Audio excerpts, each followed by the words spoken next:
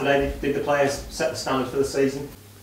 Um, yeah, um, look, we'd worked hard all week, um, obviously towards Leicester. Um, we'd focused a lot on Leicester, and I think um, you guys in the press and media obviously had written us off.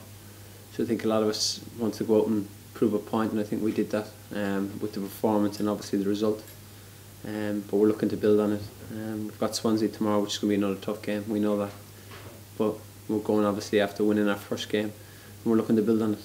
Does it suit the players that underdog tag where everybody's got you down as favourites for relegation? I suppose it takes the pressure off.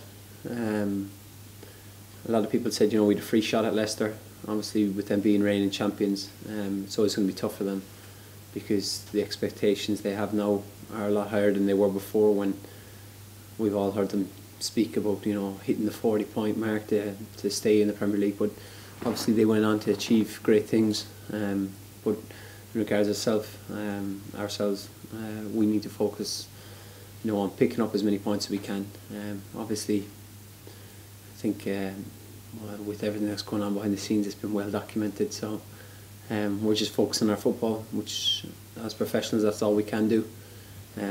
So we're going to go into tomorrow's game with the same manner that we went into the Leicester game, and obviously, hopefully, we can get another result. It's a tough start, isn't it, fixture wise? So, how important was it to get that first three points? Yeah, well, I think it's always nice to get points on the board straight away.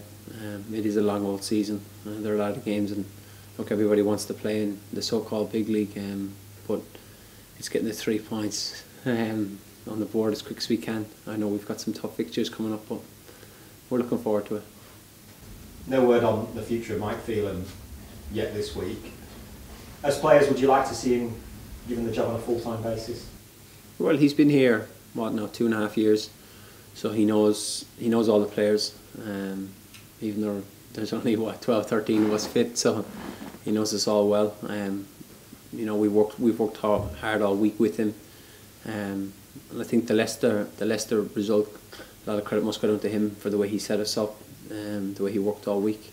I know and it's it's been enjoyable. Um, so you know, obviously that's up to the, the hierarchy to decide, but in my personal opinion, I think you know it would be it would be good to have him. It's been well documented the, the lack of signings so far in, in this window. As players, does it surprise you that you've not had more additions this week? Yes, but football football's a funny game. It's not as easy as just you know ringing a pal up saying you want to fancy a kick about you know Saturday at three o'clock or whatever. Um, I know these things take time. Um, I remember my own transfer from Sunderland to here was was tough. It took time to go through, but obviously we'd like reinforcements to bolster the squad. Um, a couple of fresh faces would you know lift lift you know the lads etc.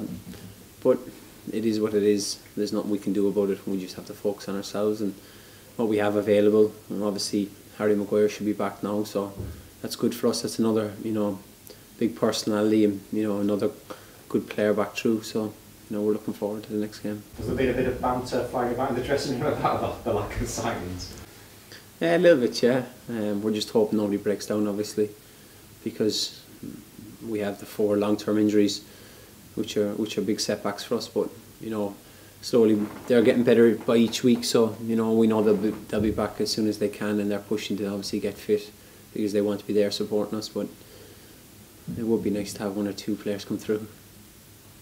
How do you see the challenge of replicating what you did last weekend at Swansea this weekend?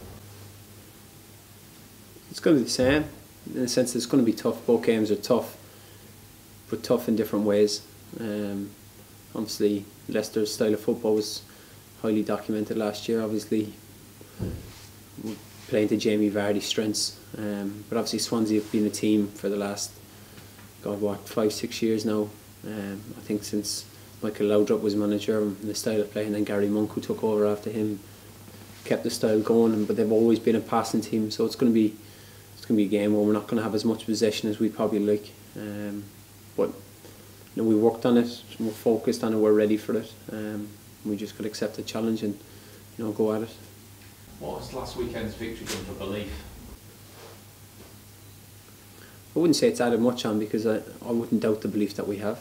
Um, I believe that's that's there in abundance throughout the squad. Um, it's been highly highly spoke about that. You know, we have great character and great belief in this squad as it is. Um, there's a togetherness.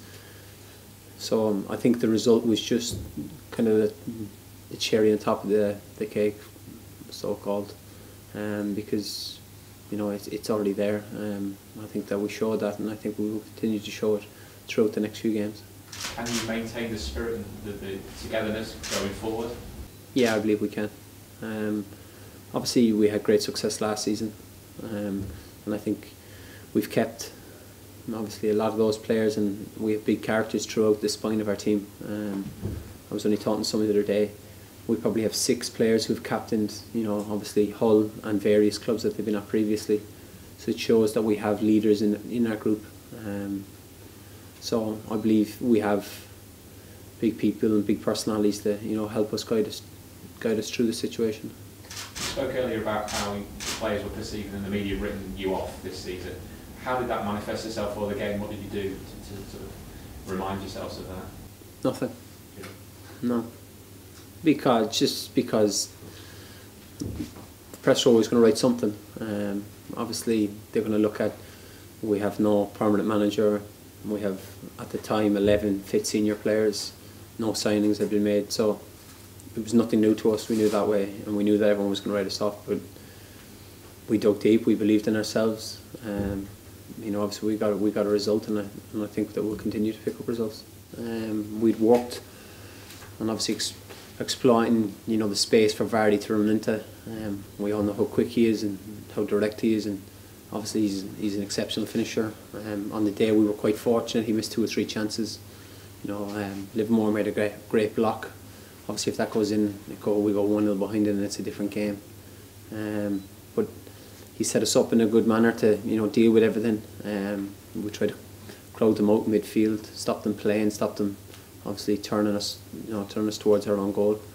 And you know his work all week helped us do that. Um, but it's been good. What sort of manager is he? Is he quite thorough the way he prepares? Yeah. Look, when you're Sir Alex Ferguson's assistant for long enough, I presume you go through everything. Um, and he's not taking any shortcuts now. We've watched everything on Swansea. Um, we could tell you everything about them, how long they sleep, how many times they go to the toilet, everything that's just the kind of person he is. Um, he's a winner, and he's trying to embed that into us, and I think that showed from uh, last week's performance and all week.